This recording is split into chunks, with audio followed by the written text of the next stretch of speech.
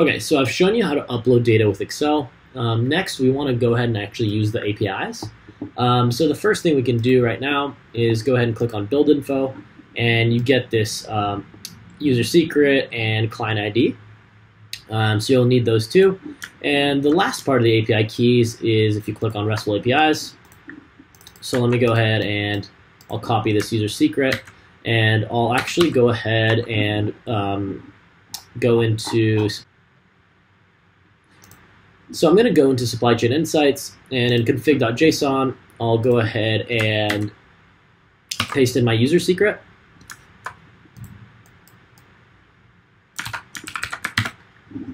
Um, and then I'll do my client ID. And the last thing we need is our client secret, so we'll grab that now.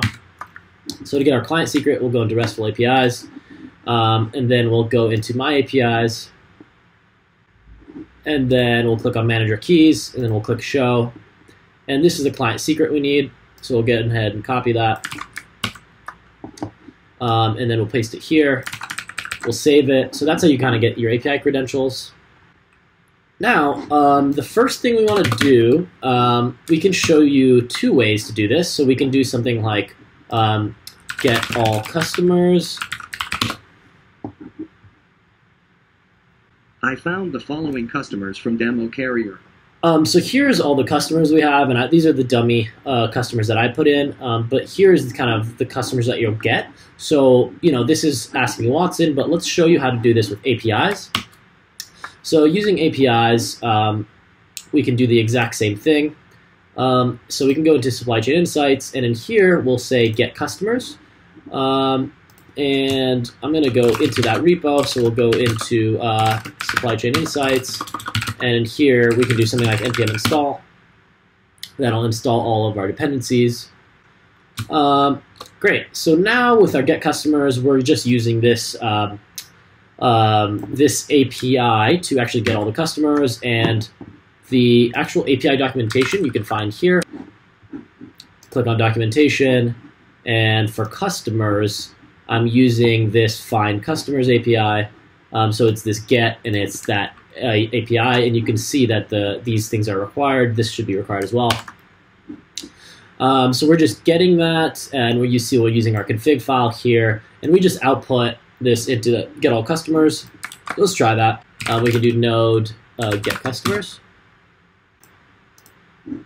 and we can go ahead and format the document and we'll see all these things. Um, so that's great. Um, so that's just an easy way to make an API call. It's the same thing as I showed you before um, with Watson. Um, next, we're going to actually add a product. So we'll go ahead and go into the sample product. Um, and we'll do another ID. We'll do uh, we'll do uh, YouTube uh, 111. Um, again, this is similar to the Excel sheet, but we're actually going to use APIs to do this. So again, product description, um, this is a demo to show you how to use APIs. Um, so we've saved this sample product file, and actually what we'll do is we'll use loadproduct.js. So loadproduct.js is going to use this uh, sample product. It's going to parse it. It's going to use our config to actually um, take the credentials, like our API keys, and it's first gonna um, it's first gonna add the product, and then once it adds the product, it's gonna look that product up and get that info behind it. And we're also we can also use Ask Watson to um, to actually see that it's actually been in there. So just to show you that um, I'm not making this up, I'll go ahead and ask Watson for this YouTube 111 thing, and it should not be in the um, in the platform yet. So I'll say, um, um, show me product YouTube one-on-one. There should be nothing. I did not find any product related to YOUTUB 111 from Demo Carrier. Um, but now, if we run this load product script, you'll see it makes a post request um, to products, and we're putting that product info, which is just this sample product.json file, and after that, we're, we're, we're just calling a, a, get product by ID, and that ID is just um, is whatever we used um, in the ID for this sample product JSON. So this will be the YouTube 101. Um, so let's go ahead and run it. So we'll do uh, node load product. Um, you can, so this is the the product that has just been queried for. Um, so you can see it's called YouTube 101, and this is a demo to show how to use the APIs. So now let's go ahead and do the same thing and ask Watson for it. This time Watson should be able to find it. I found the following product related to YOUTUB 111 from. Um, yeah, so that's more or less it.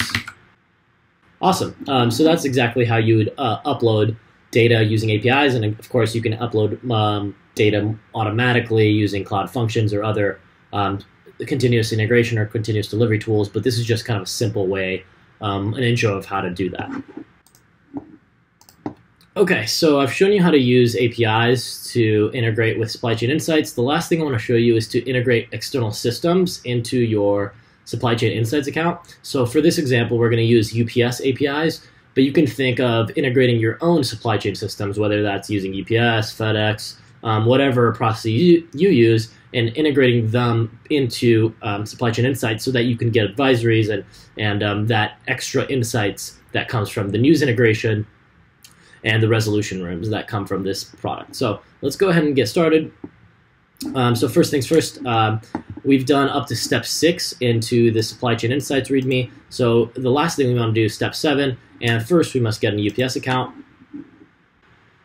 Um, so you can click on sign up or log in. Um, go ahead and sign up first, but I'm going to click log in because I've already signed up.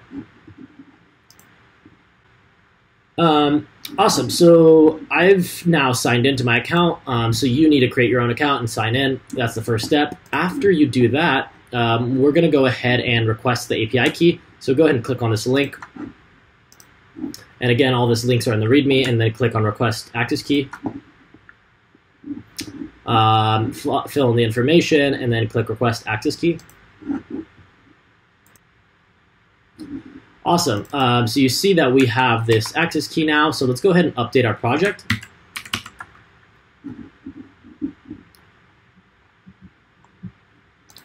Um, so I'll update this access key here. And again, you don't need to uh, uh type this in yourself. You can copy it straight from here. So I have this here, so you can go ahead and copy and paste that.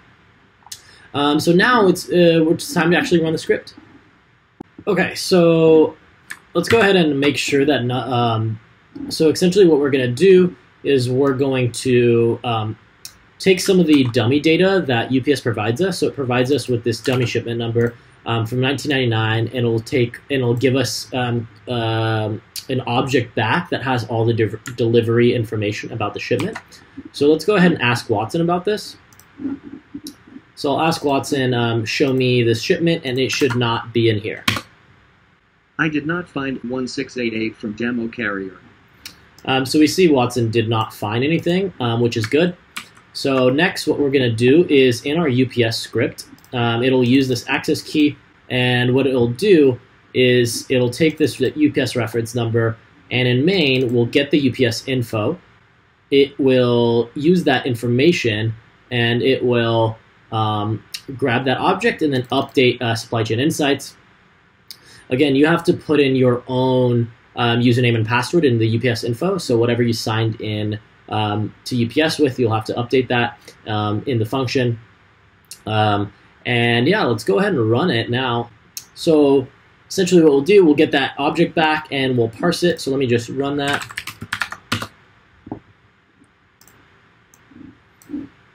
Um, so here's the object we get back. Um, so we can see the pickup date is in 1999, um, and that's what we're going to parse. This is the date that's delivered. This is the address. So essentially, what we're doing in the update supply chain insights is we take the time, uh, date and the time, we parse it, um, and we create this new object. And in we create a new post request um, for the sales shipments within Supply Chain Insights. And in the body of the request is where we put all that UPS information. And of course, this is where you would put in your own supply chain information, uh, but this is just an example. And um, now we can ask uh, Watson to show us the sales shipment. I found the following sales shipment related to 1Z 12000. Um, and this is where you can see all the 1999 dates that, that this UPS object gave us.